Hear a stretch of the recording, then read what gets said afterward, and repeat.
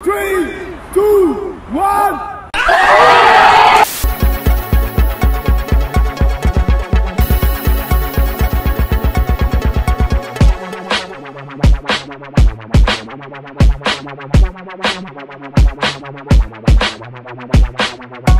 Yo, what's up guys? It's me Lil Amok. Welcome to the official YouTube channel of Too Hard to Bite.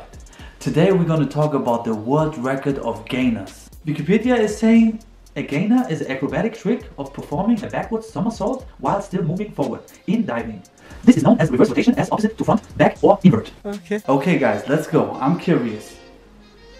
One, two, three, four, five, six, seven, eight, nine, ten, eleven, twelve, thirteen, fourteen, fifteen, sixteen, seventeen, eighteen, nineteen, twenty, one, two, three, four, five, six seven, eight, nine, ten, thirty. Okay guys, welcome to the world record of gainers. 30 gainers on concrete. Come on guys, what the is happening?